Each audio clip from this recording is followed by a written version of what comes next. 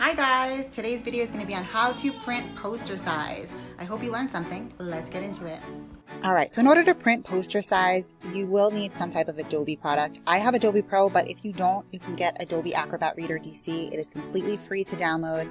You can go to this URL, get.adobe.com slash reader, or if you just do a Google search for Adobe Acrobat Reader DC, you can go in and install that on your computer. Once that's installed, you're going to go to any PDF that you have. I'm going to open up my math quote posters. So I'm going to right click on that PDF and go to open with Adobe Acrobat Reader DC. Once it's open, I'm going to go to print. And now you're going to notice that there's this option here for poster. When I click on poster, you can see now that this is stretched across two pages and it's a little bit bigger, but I might want it bigger than that. I found that for 8.5 by 11 pictures that you want to print poster size, 190% works best. And don't hit enter because then it'll automatically print for you. To preview what you want here, you're going to want to type in your scale and then just click over.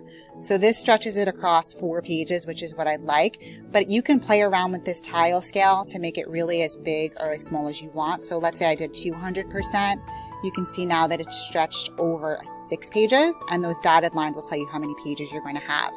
So once you have it to the dimensions that you want and how big you want it, um, you're going to print it out and then you'll cut it out, which is what I'm going to show you next. Okay, so you're going to notice that there's some overlap when you create your poster.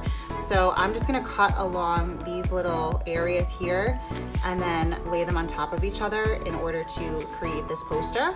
So I'm gonna cut back once I've cut these. Okay, so this is what the poster looks like all done, all cut. You can see that it's four sheets stuck together and it looks great. You can barely even see the seams. Super easy. I hope that you learned something. Talk to you soon. Have a great day.